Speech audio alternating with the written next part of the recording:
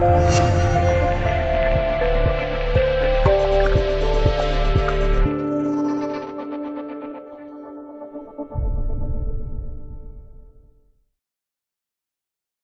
人为了爱美而去整容，还能让人理解。